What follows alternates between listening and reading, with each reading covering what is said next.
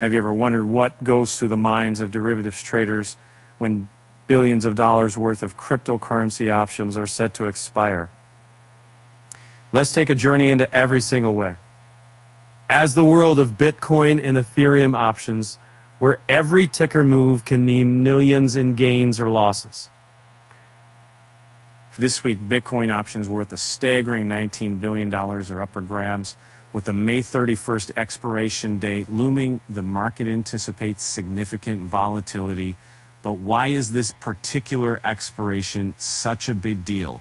Well, it's not just the massive notional value, it's also the put call ratio.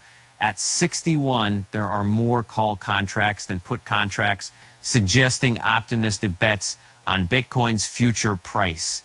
The max pain point where most losses would occur lies around $65,000, a far cry from the current spot price. Long positions dominate with many investors holding on to contracts priced at $70,000, $75,000, $80,000, and even $100,000. On the other hand, the $60,000 strike price boasts the highest open interest, indicating the strong belief in a potential price surge.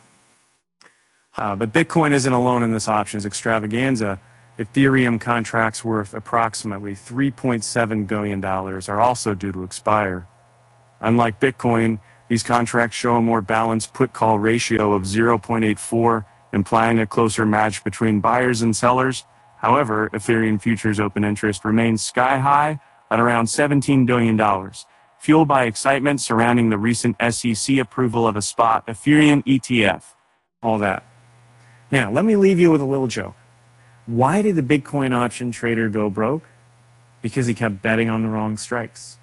And with that said, thanks for joining me on this adventure into the wild world of crypto options. Until next time,